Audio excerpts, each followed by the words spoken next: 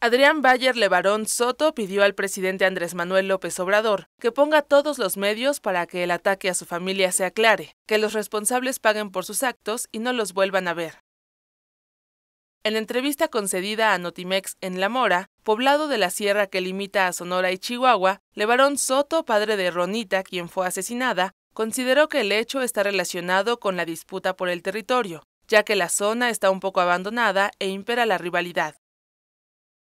Dijo que Sonora, Chihuahua, Arizona y Utah ahorita están de luto porque balearon niños, mujeres, quemaron con saña, con maldad, con malicia. La segunda camioneta era una con una madre y un bebé. Ese bebé, ocho horas después de que mataron a su madre, todavía estaba vivo ahí. Cuando nosotros llegamos lo recogimos. En la segunda camioneta iba la madre y siete hijos.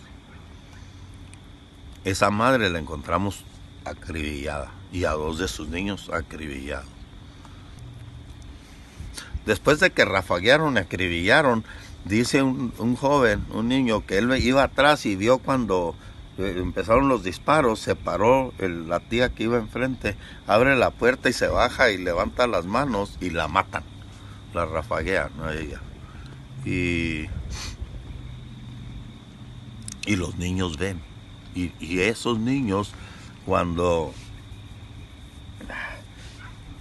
cuando, cuando los, los sicarios se arriman a ver a quién habían matado, uh,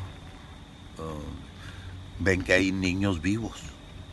Entonces les dicen, les dicen, bájense y váyanse. así lo dicen los niños, que los dejaron irse.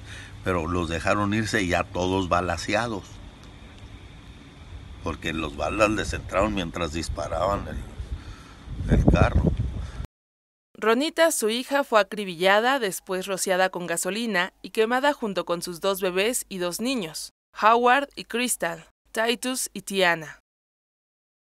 Asimismo, señaló que no acepta la opinión de quienes dicen que fue una equivocación, pues eran las nueve y media de la mañana y todo era demasiado claro.